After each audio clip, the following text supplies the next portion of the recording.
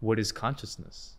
Oh well, um, uh, consciousness like it's one of the biggest questions of our age. Um, but luckily, you have a graphic designer here.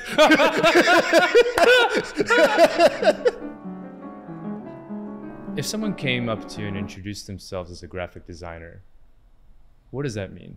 What do you expect from that? Um, honestly, that could mean a whole multitude of things at this point. Uh, it is a field that encompasses a lot of things. Uh, I think on a very basic point, though, it is just using a visual medium to communicate a message and knowing how to do that. So let's say two graphic designers meet each other. What is that conversation?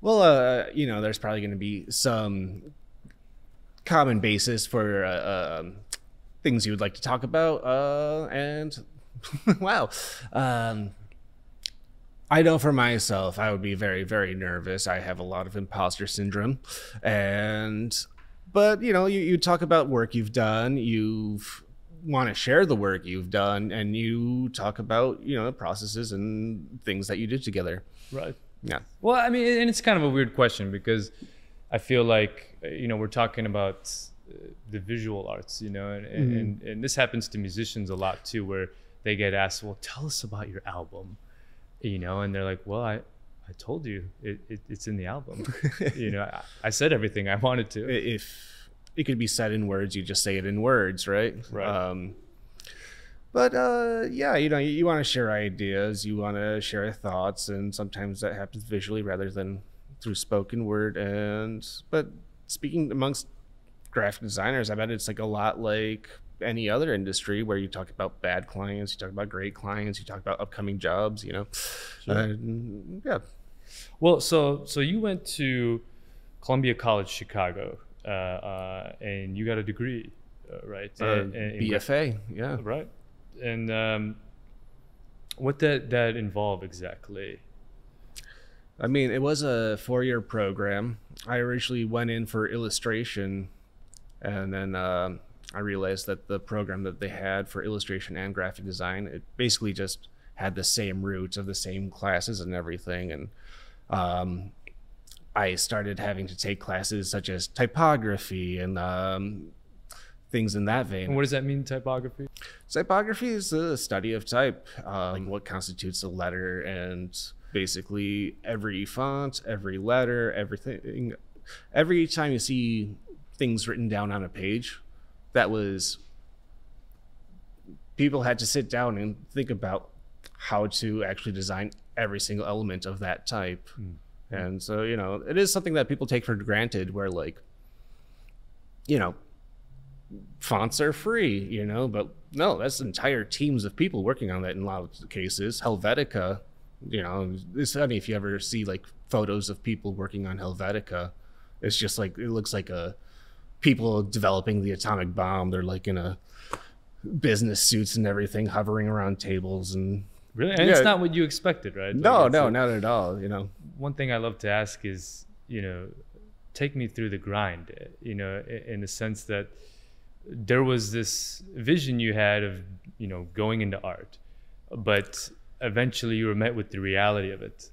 And and mm. and was there a humbling experience? Was there a moment where you had to kind of break down what you knew and and start fresh? Like what? what I mean, like? yeah, you know, um, coming out of college, uh, you know, bright eyed and bushy tailed, you know, I thought I was going to kind of like rule the world immediately with my ideas that I learned in college, you know. Right. And then, um, oh, you know, I was just met with the harsh reality of just like people weren't responding to my application, people weren't responding to my resume. And like the first job I got out of college was like what was it? It was uh, for a manufacturer of walk-in bathtubs. You oh, know, really? like and uh, yeah, and uh, you know, I, I, wasn't doing grand design. I was doing uh, you know, what was it? it was just like schematics for the width and shape of bathtubs and. okay, not necessarily yeah. artistic vision. No, but, no, uh, it was very soul crushing, and uh, yeah, um, you know, it was a job nonetheless I wouldn't say that. I only lasted there nine months before I couldn't take it anymore, and then I went into a freelance position. But you know, like um, I, I uh, it definitely had a humbling effect where I kind of realized that I wasn't probably going to be like the rock star designer that I thought it was going to be in my mind. You know, At least not at first, right? I mean, no, it still could happen, I suppose. Well, I mean, let me. I mean, because you know, I I didn't go to school for art, you know, and and, and I was curious, uh, you know, because there's this a museum in Chicago uh, called Intuit, um, and it's the Center for Intuitive and Outsider Art, and it basically features artists that have never gone to school. Um, and I walked in there and I mean, it was beautiful and it was breathtaking as well, but uh, there was a considerable difference, you know, in in, in just the style, and you, you could tell, you know, that that there's just a difference between you know uh, the schooled and the not, and and, and- and so I was curious, like, uh, what is that secret whisper that uh, you know they charge you the thousands of dollars for? What is what is it in in art school that um, is given upon the students that has you know later affects their work in such a way? I suppose that a lot of it is that like you do have a lot of fundamentals drilled into your head at an art school, no matter uh, any kind of visual medium. I think that you will learn about like composition and the rule of thirds. You will learn about um, actual like definitions of things like line and and pattern and everything, and how to in, uh, incorporate those things into your work. And um, and you know and also you are getting like you know some sort of aesthetic trickle from the people teaching you you know? Like uh, you will learn fundamentals like you know you will if you're going into like say drawing or painting you will learn how to draw the human body properly you know and i think when it comes to uh, uh Intuit and outsider art together like uh in a way they're very much liberated from all of that where um they're kind of uh, you know, free to do and express themselves however they want. But it, it is like a process of learning where um, the fascinating thing about outsider art is just like how you can become good at art and good in expression without a traditional uh, education. Right. Well, for example, what what is the proper way to try the human body? Like, what does that mean exactly? Yeah, that, that's a, that's a good question. I mean, is, to me, I don't think there is a proper way, but I think that there are fields of study that make you more observant on like what you would want to draw about a human body. Um, you know, I, I'm going through that drawing class right now where the teacher is, she's very very keen on just like observation, which like, where a lot of times you're not even just drawing the body, you're just like all right, without looking at the paper, just like follow the curvature of the human body, every little single detail, you know, and it doesn't matter what comes out on the page. The, it's a process of just like observation, Wow. you know. Um, so uh, yeah, at the end, like, you know, uh, to circle back on your original question, I, I think that uh, something you hear a lot is you got to know the rules in order to break the rules. Yeah. Whereas uh,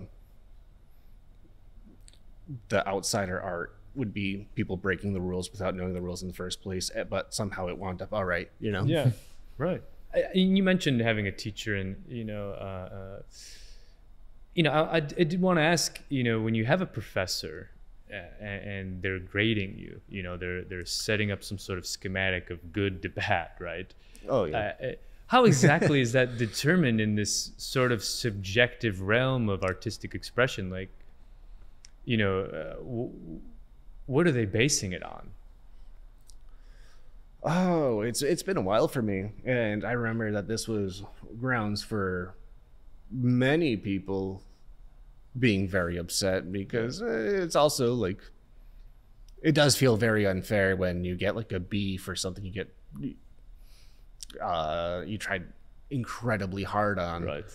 Um, I remember for mine, I, at least in a graphic design sense, it was there was like some criteria where like you know you you actually had to demonstrate effort in things like you had to a big part of your grade was on how you were able to just present it to a crowd Mm. you know and um times where you had to just do critiques and hang your art up on the wall or your designs or whatnot and you had to just field questions and you had to explain everything you had to ex- just you know explain your aim and i think that was a big part of it of just like this is what i was thinking this is the audience i was going to uh, address and uh, this was my uh, strategy to to meet all of that again a, a difficult task for, Yes. for people that perhaps are of the mind of of the visual arts and not Right, the uh, yeah.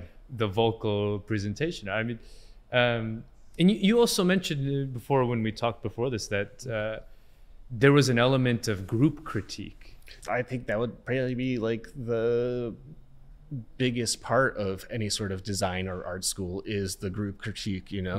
That is where you get the best feedback. That is where you get the best ideas because that's when you get the rawest feedback besides the internet, I guess, but uh yeah you know, you don't have people just saying this sucks, you know, and with nothing to follow up on. they have like suggestions and whatever suggestions and They know you ideas and want to like prod things a little bit and, mean- and maybe say like well, well like what if you did this? Have you considered x or y? You know and Well, I, I think one thing I really want to, you know, for any listeners out there, um, the main thing I want to communicate is is is like, if let's say you for whatever reason cannot go to art school, what is what needs to be in your trick bag, and how do you get there? You know, as in like, how do you mimic the the group critique? How do you, you know, uh, what are the skills and and and uh, practical things you would want on your resume uh, um, to gather so that you could essentially be a graphic designer with perhaps no schooling. Well you, all these skills are actually just kind of available for you to learn online you know? Um, being a graphic designer isn't just that you know how to use the adobe creative cloud you know? It, you do need to know that eventually but like, or you know a similar program but the ideas of design aren't based within a computer program. It's something that you do on paper you know? And um i think a big part of it is that you just gotta practice you know?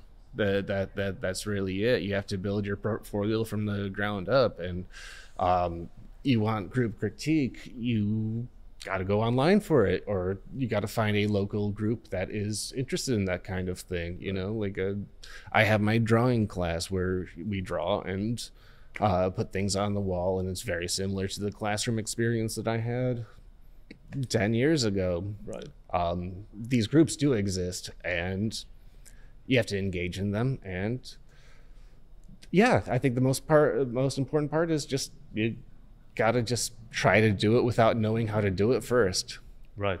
And then because then it'll be so much easier to learn later because you're like, well, I kind of messed up all these different ways Right. already. and wait, yeah you mess things up and then like when you do learn what went wrong or you do know how to do it right you, you knew already how to how it went wrong to begin with and I guess one way would also be uh, assuming the identity because everyone around you needs art in the sense that they need something advertised in some way. And as Yeah. if you've seen in your friend group, uh, the various projects, uh, you know, that you've done amazingly at, by the way, you did a, Oh, a thank great you. album cover for um, our friend Alex uh, uh, in his in- Indonesian gamelan um, album. Uh, I believe it's called Kiai Maruta. Uh, you did a project for me, Wine Hunks.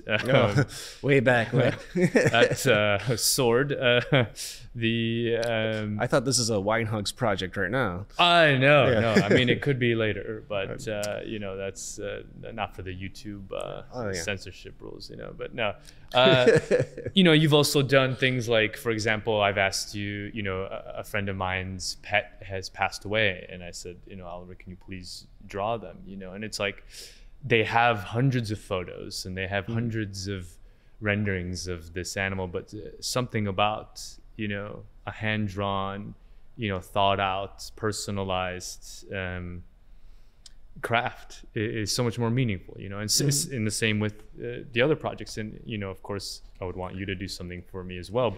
Take me through your process. When someone approaches you and says oliver i need this. I need this interpreted. I need this image. Um, what is uh, what is your step by step you know i mean you're on the job you know? Well, you know, there there's um, several things that come into consideration. Um, you know, you have to understand what the project actually is. You have to know who the project is for, whether it's whoever hired you or whoever the uh, the audience of the image is going to be. Okay.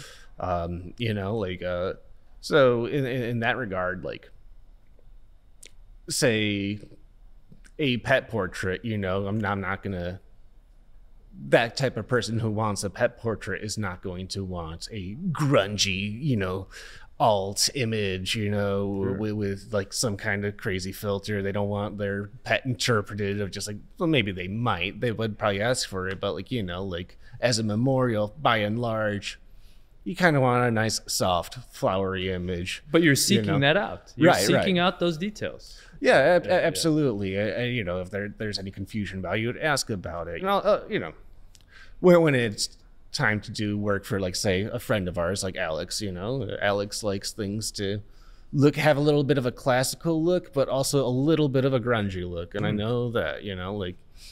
Uh, so there's there's knowing the client, there's knowing the audience. You know, if I'm designing an ad for a, a business and you know they are a uh, holistic medicinal, medicinal eh, holistic medicinal uh, thing, then like I'm gonna make things look a little bit professional and softer and just like, hey, like this is going to heal you, you know. And so you there's the- devote like the first part of the time to oh yeah, to just sussing out the, the character and the, the sussing out what the client wants and what the client needs and what the what their audience is. You know. Okay.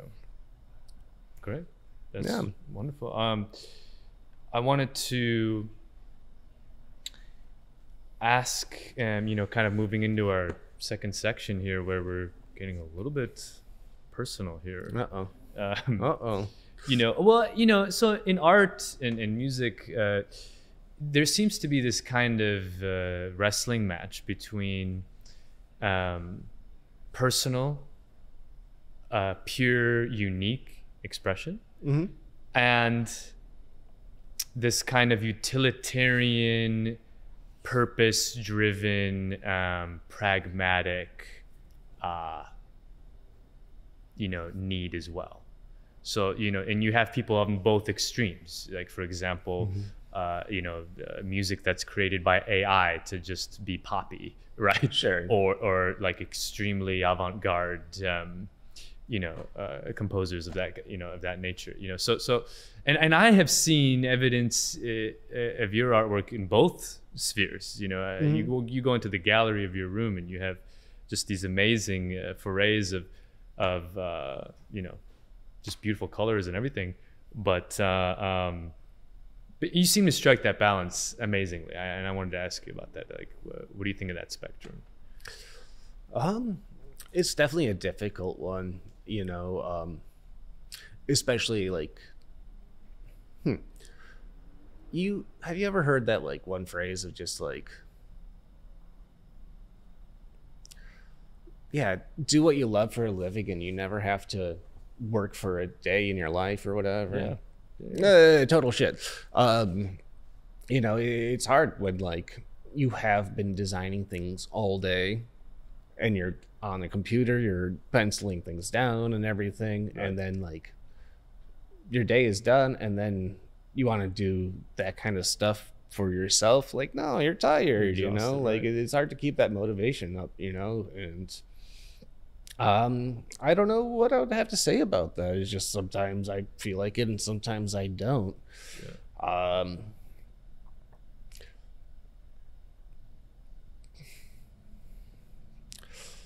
yeah, uh, motivation's a tricky thing. Well, with motivation being a tricky thing, you know, there is that quote that you've told me before uh, uh, that I wanted to discuss. Uh, this idea that, or the quote is, there's never been an ambition, ambitionless person convicted of a war crime. Yeah, and uh, and you know, I mean, there's some pushback there too. I mean, you can think of uh, times where neutrality has led to catastrophe as well, but uh, absolutely, and you know, it definitely is like more of a facetious thing that I say than anything. You know, um, uh, just trying to like harp in on that energy of like, um, have you heard like the whole George Carlin quote of like, show me someone who's sitting around masturbating all day, and I'll show you someone who's not causing any fucking trouble. And you're like, you know, and uh, yeah. Do I think that ambition on itself is a bad thing? No, of course not.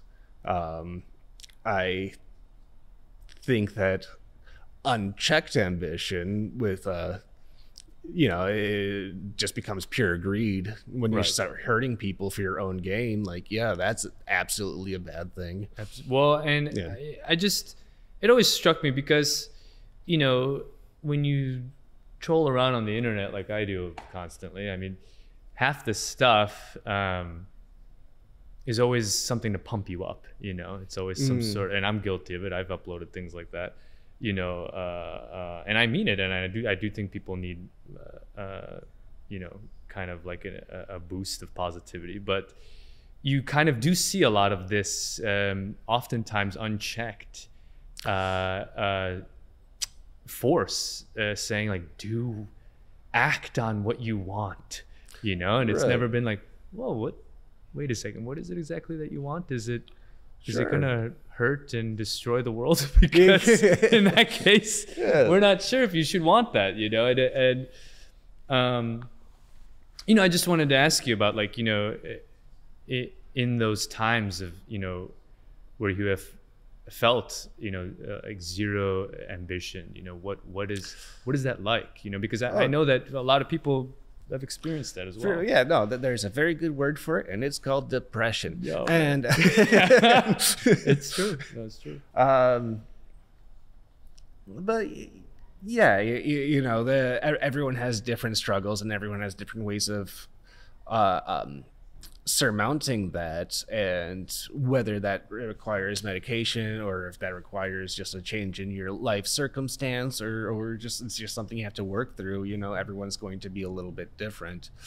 Um, but yeah i i, I think uh, at the other end of the spectrum there is like this toxic positivity that you see you know like you know people are just like in response to that, just like, well, just don't be sad, you know, just you know, do whatever you want. Just like yeah. life is wonderful all the time. Like that's not true. You not know, true. That's, no, that's, not true. Like facade uh, that uh... yeah, uh, that there are times in life that you do have to grapple with your feelings and your motivation and how you are coping with life, and sometimes that's not very pretty.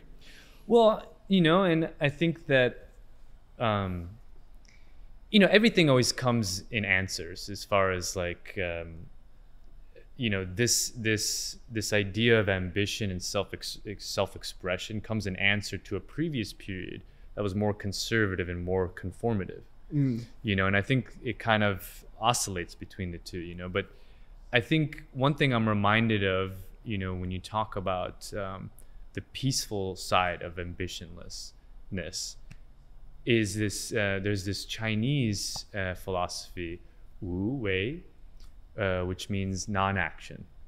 You know, and oftentimes it, it, it, it, would be applied to you know how an emperor should rule or that kind of thing, but it can also be applied to a, a personal philosophy. Mm. This idea that um, the over excessive striving for and um, and uh, yearning for and pining for actually pushes away any kind of thing that you actually want you know? Uh, uh, is that part of the philosophy you've thought I about? i or live by? definitely believe in that. Um well i guess i'd say it's uh, intriguing to me. I, i've never heard of it before and i'd have to look into it a little bit more but um yeah i i think that uh at least that's how it how, how I relate to it.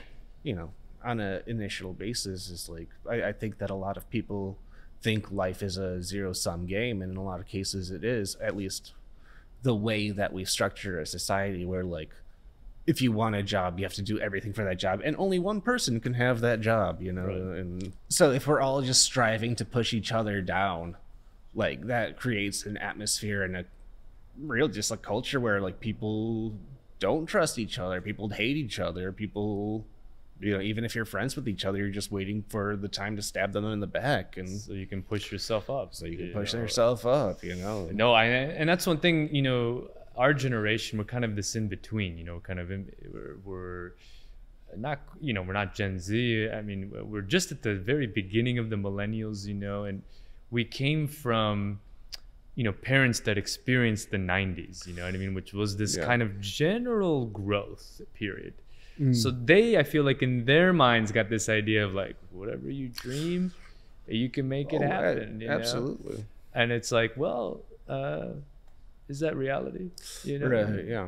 um one one thing i want to say i think whatever your mentality is it's working because having known you for almost 15 18 years i would say that there is this thread of grace and beauty that Oh. no, really, that surrounds your life. Uh, the people that uh, have been attached to you, the peop- the things that you've done, um, have always just I don't know impressed me and others around you. And I think the fact that you have kind of adapted this non-ambition um, mentality has somehow maybe been the secret to it. I don't know. Right here, I wrote down. I said. Uh, explain the beauty in your life. Explain the beauty of it.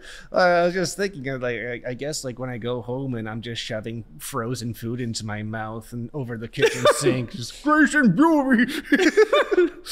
uh, um, Man. Yeah, I, I, that's very kind of you for, to say. I I don't know if I would describe my own life as graceful and beautiful, but uh, um, uh, yeah, we're gonna have to circle back on that. I'm graceful and beautiful.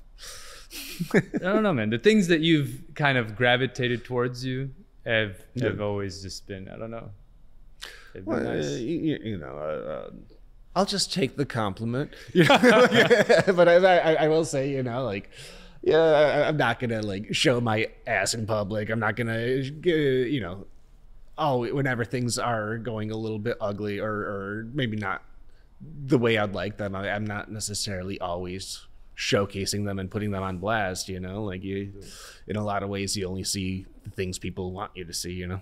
Sure. No, that's true. That's true. Uh, um, okay. One one last question on on this uh, uh, deep dive into all the problems. One last one is is um, and, and this is just something I, you know, being a novice in uh, in the artistic realm. Uh, you know, I I want to know.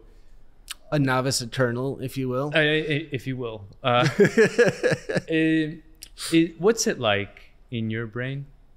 Like in the sense that you know, you at one point decided that this was your passion, uh, art and that kind of thing, uh, and, and I just want to know, like, you know, do do colors and shapes and textures, do they speak a language to you?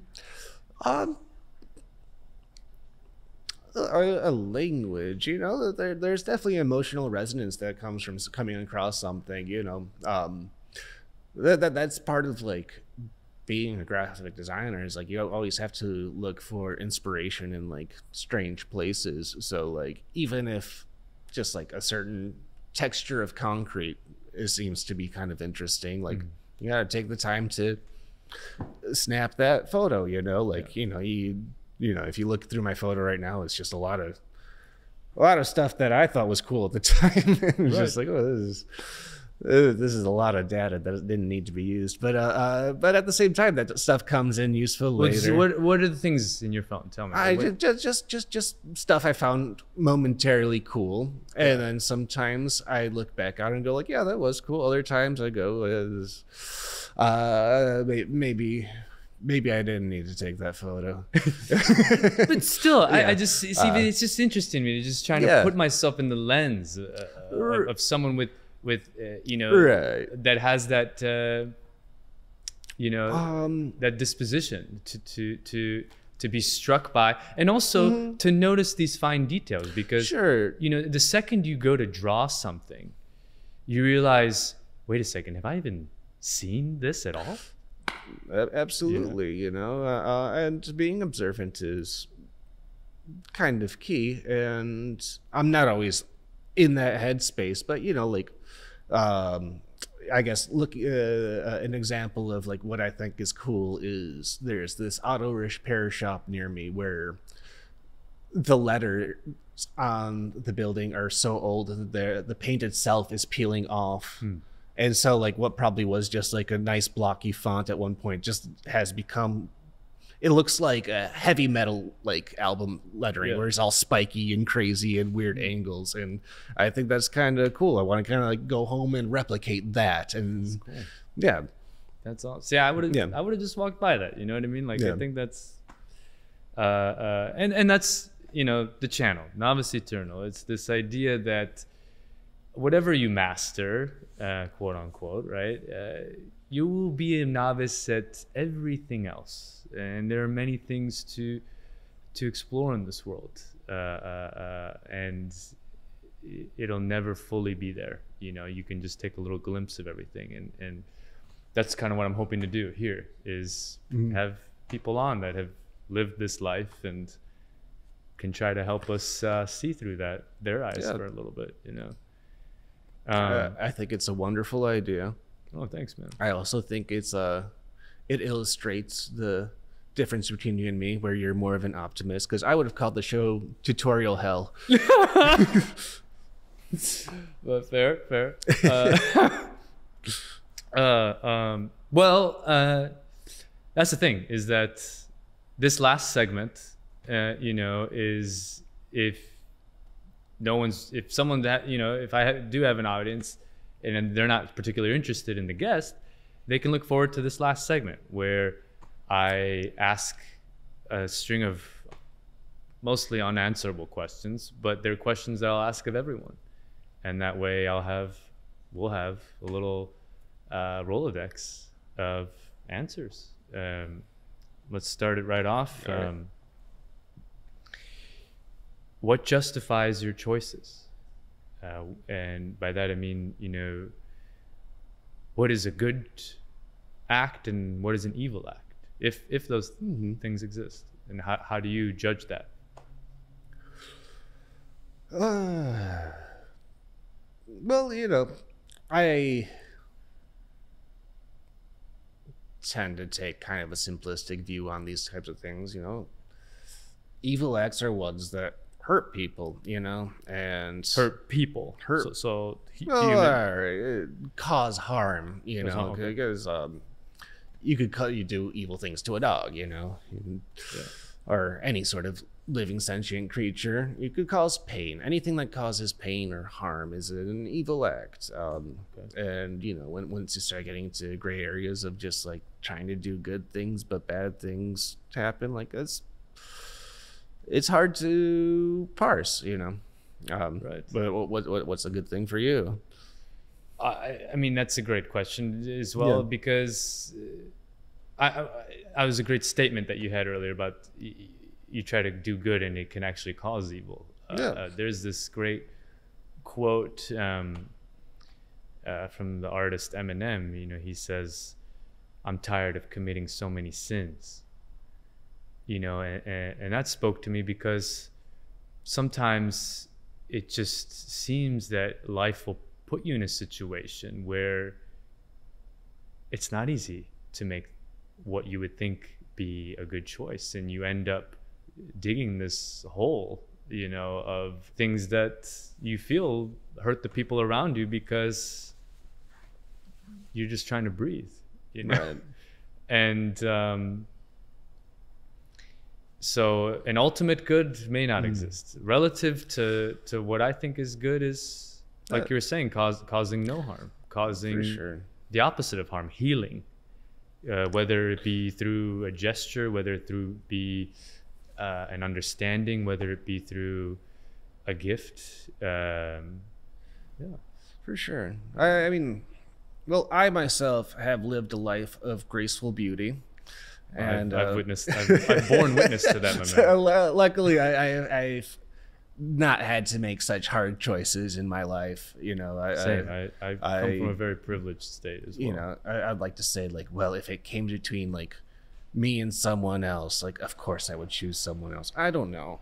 I don't. I've never been in that situation. Right, You know, right. like, um, who who knows what would happen? Like when instinct kicks in or something. You know, this is perfect because it asks i want to ask this life philosophy question where where you know i believe in this kind of external uh, fairness in the sense that if something is owed to me i don't need to hurt someone to get it. Uh, but that's bec- that's coming from an an unjustified belief in the fairness of the universe now, let me ask you this Is the universe chaotic?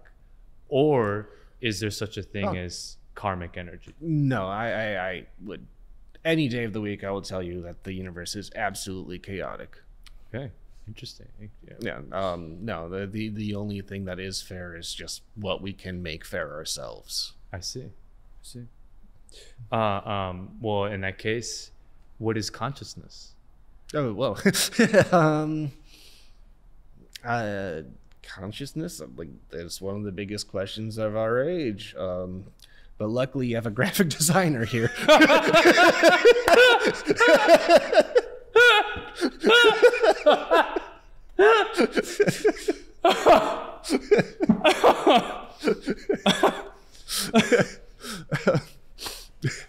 Yes, I want to know because this there is no answer to this. Tell me, as a graphic designer, what is consciousness, man? Because as we established before, you're you're walking around and noticing things is very different than mine, and so so sure. your I- answer is going to be just as valid as anyone's.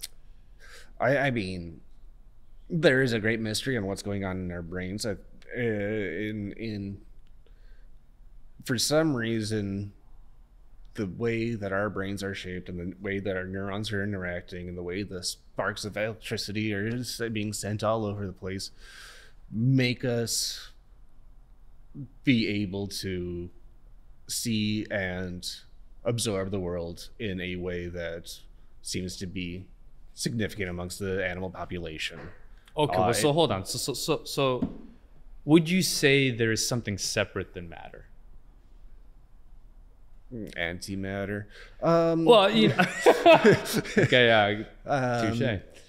Well, are, are are you thinking that like is there something like a spirituality that exists amongst us? Well, yeah. Uh, essentially, I'm asking. Yeah. I, uh, yes. Essentially, the question being, is consciousness a combination of neurons firing, I or is it something that inhabits a brain?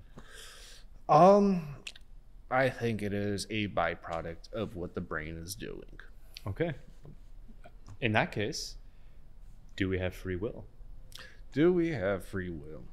I asked that, Uh, you know, and this, these are yeah. related, you know, because oh, absolutely, yes. you know, with with entropy, uh, things get more scattered, the neurons get more uh, proliferated.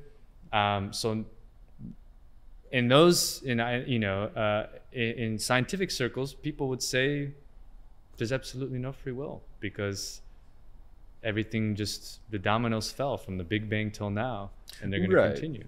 yeah and everything's just a big series of chemical reactions and um you know I, I i go back and forth on it you know like i i think ultimately we do have free will you know i, I think that so much of our lives are preconceived you know you can't help where you were born you know your zip code basically says how you will do in life Um, but I, I- think that you do have a choice. You know, you do. You can always choose to change your life in significant ways. Right. You know, um, but so far i'm hearing two slightly different things because Right. you have mentioned you know you and i have both come from from privileged backgrounds you know we grew Mm. up in the in the northern suburbs of, of chicago in an affluent area and and and this and that uh, uh, and but and you also mentioned your zip code you know really determines a lot of things you know but of course we've seen examples of people coming from certain zip codes or wherever and living healthy, happy, amazing, incredible lives. And we've seen people from our zip code uh, uh, not do so uh, well as far as health and as far as happiness and whatever it is. Um, but how much of that is genetics and, and, and right? are you separate from your genetics? Can again? I, choices? I, I, I would say genetics is one of those factors that like you have no control over, Right. and you know. I, I again like I, I don't know too much about it, but and I don't know what separates nature from nurture in this situation, but like people with angry parents become angry people themselves, you know, and how much of that is really up to them, you know. right. But I, I I think that sometimes like if they can recognize that fact, they have an opportunity to change that nature about themselves, you know. Well, and the beautiful thing is, is that let's say there is no free will if it's unpredictable. You know what I mean? It's unpredictable how someone may influence it. But ultimately, I think you know, what you're saying is you still have this ability to hold a memory or a scene in your mind and make some sort of choice right Uh, despite right Uh, and that's is that what i'm uh, kind of uh, I, I mean, yeah, you, you could take in all the information around you, and you could realize that you are part of a system that sucks, and you can make informed choices about how to change yourself and your surroundings to. Well, you know, this isn't also just for good. You could also take in all that information and just be a real shithead and like, oh, I guess I'll just go gambling. You know, like, sure Yeah. Uh, uh, well well so okay i know i promised i wouldn't get personal anymore but uh, you know You had a choice. I had a choice, man. You had a but here we are. choice. Here we- like, uh, you have a philosophy that you- governs your life, no? Uh, like one overwhelming one. No, I, I, I would say it's a like one thousand Wikipedia articles about philosophy stapled together. Okay. It well, whatever it is, whatever how many articles it is, it encompasses how deep it goes. It changed at one point, right? I suppose. I'm curious, what are what is your validation loop? As in, you know, things happen to you, right? You mm-hmm. experience life, and you make adjustments to your philosophy and how you digest that life. Sure.